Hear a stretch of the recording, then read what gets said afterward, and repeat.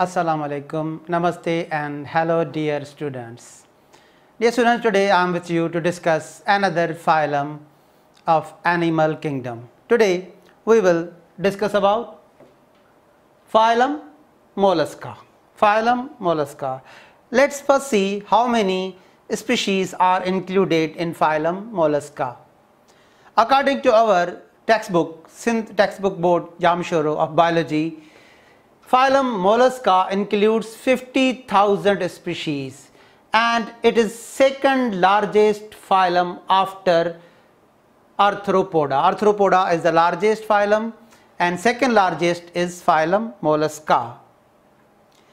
And the body nature of these animals, they are soft bodied animals. Body nature of mollusca. The name mollusca signifies a soft body.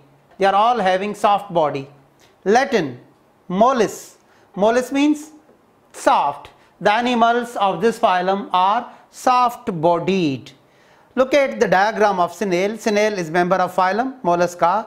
You see its body is soft. Here you see tentacles. This is the head region and you see its body is covered by a hard shell.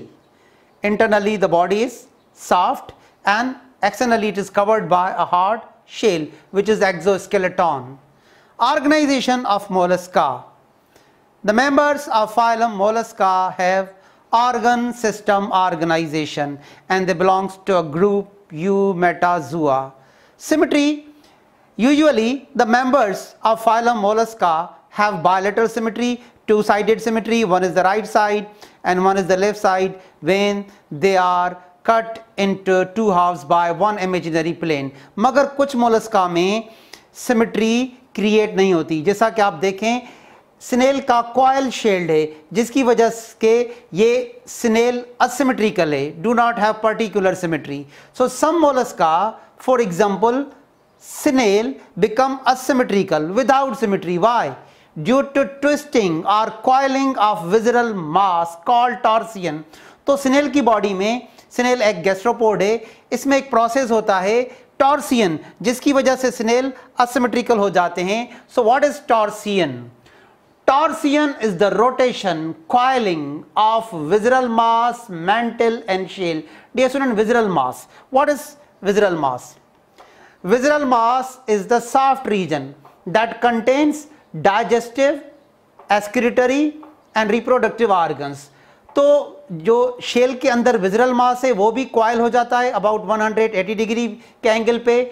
और mantle Mollusca के epidermis वाले हिस्से को कहते हैं या reason को कहते हैं मेंटल में ग्लैंडुलर सेल्स पाए जाते हैं and the glandular cells of mantle secrete calcareous shell तो विजरल मास मेंटल और शेल की क्वाइलिंग को टॉर्सियन कहा जाता है जिसकी वजह से गैस्ट्रोपोर्ट्स जो कि फाइलम मोलस्का के मेंबर्स हैं वो असिमेट्रिकल हो जाते हैं। Now germ layers dear students they are triploblastic animals triploblastic having three germ layers the ectoderm, mesoderm and endoderm during embryogenesis. इसमें तीन लेयर्स पाए जाते हैं एम्ब्रियो में। And you know these layers will gives rise organs by a process called organogenesis तो इनके organs तीन layers से develop होते हैं और इनका जो सीलोम है वो मीजोडर्म से डिराइव किया जाता है मीजोडर्म से डेवलप होता है तो देखिए अब इनमें कौन सा सीलोम पाया जाता है Their coelom develops from mesoderm and they are true coelomates having true coelom. What is new coelom? A coelom lined on all the sides by mesoderm. वो सीलोम जो कंप्लीटली मीजोडर्म के अंदर पाया जाता है, उसको ट्र्यूसीलोम कहा जाता है डियर स्टूडेंट्स मोलस्का के बॉडी पार्ट्स तीन मेन तीन बॉडी पार्ट्स होते हैं there body parts three main parts of the body head containing sense organ like tentacles and they have ventral muscular foot use for locomotion and visceral mass is a soft region containing digestive and circulatory organs. आप देखें, ये snail की diagram है। उसमें आपको ये तीन regions clear नज़र आएँगे। This is the head region containing mouth and tentacles tentacles are sensory organs उसके बाद ये जो विजरल मास है, आप देखें, ये stomach stomach is part of visceral mass heart it is part of visceral mass intestine it is part of visceral mass. And in mollusca, one or two pairs of nephridia are organized as kidneys ये इनके kidneys का काम करते हैं। And it is also included in visceral mass और ये उनका ventral muscular foot है। Ventral muscular foot is use for locomotion तो इनके बॉडी के तीन मेन पार्ट्स हैं head region foot region and visceral mass a soft region dear students इनके, इनका जो डार्सल एपिडर्म से उसको मेंटल कहा जाता है। मेंटल में ग्लैंडुलर सेल्स होते हैं, जो कि कैल्शियम कार्बोनेट सीक्रेट करते हैं। And when the glandular cells of mantle start secreting calcium carbonate these particles of calcium carbonate form their hard exoskeleton known as shell so what is mantle mantle is the dorsal epidermis in mollusc having glandular cells mantle is having glandular cells, and these glandular cells of mantle secrete hard calcareous shell a shell made up of calcium carbonate आप देखें, ये जो आपको black line नज़र आ रही है dear student this is the dorsal epidermis of Mollusca इसमें ग्लैंडुलर सेल्स पाए जाते हैं, जो कि कैल्शियम कार्बोनेट को सीक्रेट करते हैं, और इससे ये शेल फॉर्म होता है.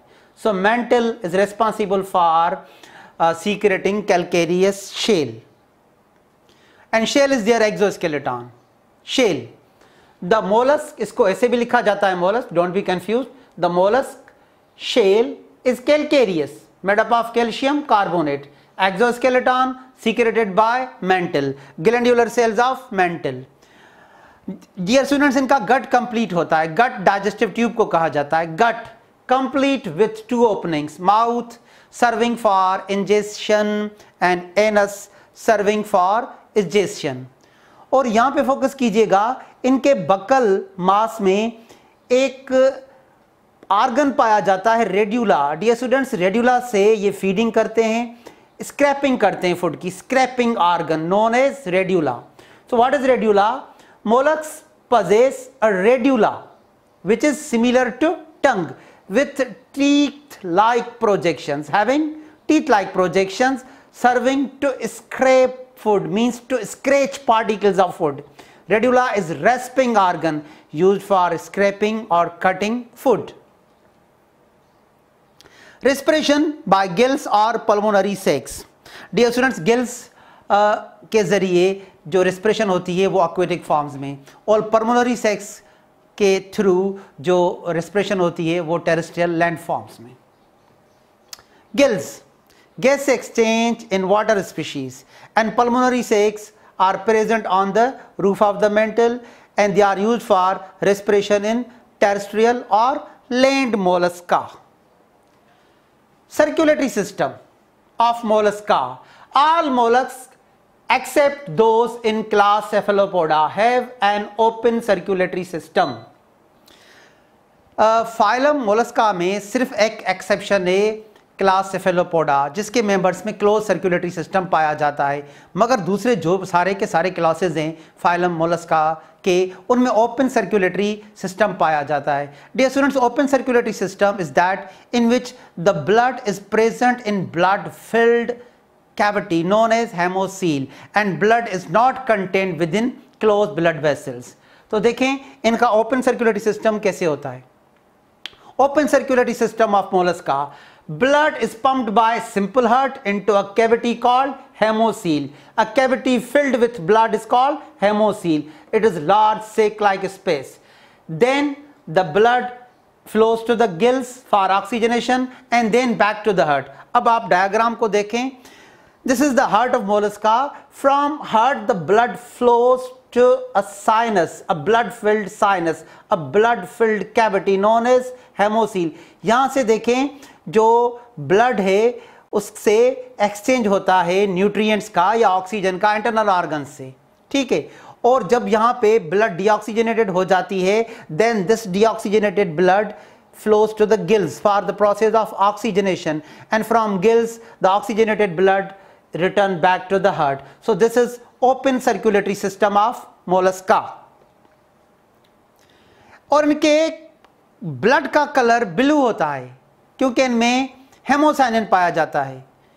Colour of blood is blue why due to the presence of copper containing haemocyanin dissolve in plasma haemoglobin red colour provide करता है ब्लड को और dear students haemocyanin blue colour excretion जैसा कि मैंने आपको पिक्चर पे भी शो किया था लास्ट पिक्चर पे, कि इनमें एक या दो पेयर्स पाए जाते हैं नेफ्रिडिया के, जो कि ऑर्गेनाइज होते हैं as a kidneys so it occurs by one और two pairs of tube like tubular structures known as nephridia which are organise as kidneys and these are ammonotelic और ureotelic ammonotelic are the animals which excrete ammonia and ureotelic are the animals which excrete urea now nervous system uh, it is formed of few pairs of ganglia. A collection of cell nerve bodies is called ganglia and ganglia are joined by nerve connectives. For example, आप देखें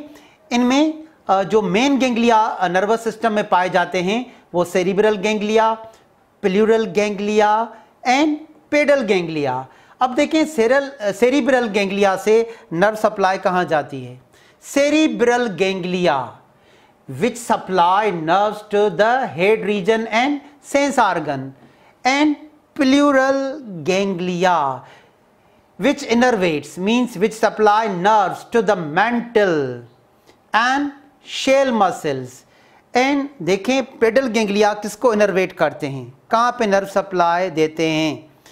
Pedal ganglia as you know podos means foot which supply nerve to the foot और देखें, ये connective nerves हैं। एक गेंगलियान को दूसरे गेंगलियान से कनेक्ट करते हैं। For example pedal ganglia is connected to the visceral ganglia by means of connective nerves and what is function of visceral ganglia which supply nerves to the visceral mass तो इनका जो नर्वस सिस्टम है, वो बहुत सारे गेंगलियन का बना हुआ होता है और उनके बीच में नर्व कनेक्टिव्स पाए जाते हैं।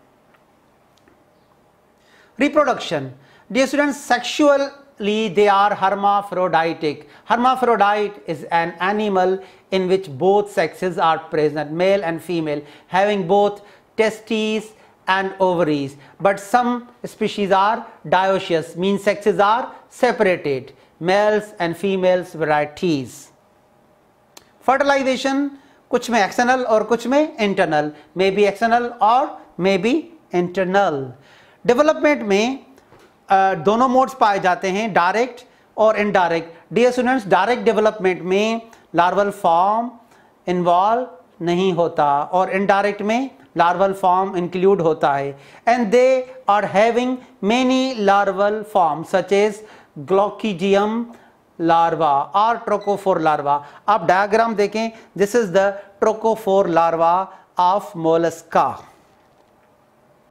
study of Mollusca is called malacology study of Mollusca is called malacology the study of molluscan shell is called conchology.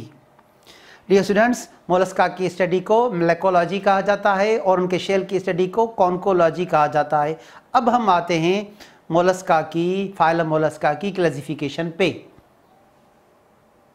Classification of phylum Mollusca phylum Mollusca is divided into six classes on the basis of foot and shell foot और shell के बुनियाद पे phylum Mollusca को six classes में divide किया गया है। And these are the six classes of phylum Mollusca number one class mono Monoplacophora number two class Amphineura number three class Scaphopoda number four class Gastropoda number five class Bivalvia number six class Cephalopoda मगर dear students हमारे text book में तीन classes को describe किया गया है। Only three classes are discuss in our text book so we will focus on these three classes जो तीन क्लासेस हमारे टेक्स्ट बुक में मैंशन किए गए हैं, हम उनको ही आज डिस्कस करेंगे। First class Gastropoda class Gastropoda it has Greek origin gaster means stomach podos means foot so why they are named Gastropoda on the basis of their foot location और modification of foot the foot is located और situated very close to the stomach and a part of foot is modified into stomach. That is why they are named gastropoda यहां पे देखें ये इनका foot है और stomach बिल्कुल foot के करीब है and some part of the foot is modified into stomach that is why they are called gastropoda and their shell is spirally coiled why due to the process of torsion look at here anti-clockwise coiling of shell dear students this is called torsion. What is torsion? Twisting of the or the rotation of the visceral mass or visceral organs in anti-clockwise in anti-clockwise direction through an angle of 180 degrees. And what is their habitat? They are living in marine seawater. Some are freshwater forms and some are living on land. Example of class gastropoda. Gastropoda includes snails and slugs. Class number 2 class bivalvia. And why they are named bivalvia? Due to the presence of two valves bivalvia having two valves. And these valves are the valves of their shell. All have shells composed of two pieces known as valves, a right valve and a left valve and that are joined by ligament. You see uh, this is the left valve and this is the right valve having two valves that is why they are called bivalvia and these two valves are joined by a ligament connective tissue. What is function of foot in class bivalvia? The foot of bivalves is adopted for burrowing in all species. And what is their habitat? Some are marine forms and some are freshwater forms. Examples of class bivalvia include mussels and oysters. And this is the third class which has been mentioned in our textbook class cephalopoda. Cephalo means head, Greek origin. Cephalo means head, podos means foot. The foot is partly modified into head with tentacles used to capture prey and the number of tentacles is 8 in octopus and 10 in squid. ये students का जो foot है वो head region में modified uh, होता है with tentacles octopus में eight tentacles पाए जाते हैं और स्क्विड में ten this is the diagram showing octopus and in octopus the foot is modified into eight tentacles in head region shell shell में भी internal as in case of sepia or may be external as in case of nautilus or maybe absent as in case of octopus. Habitat. Where do they live? They are marine means living in seawater and examples of class cephalopoda includes nautilus and octopus. So dear students today we have uh, discussed phylum uh, mollusca with their characteristics and classification. Dear students, wish you all of the best. Thank you.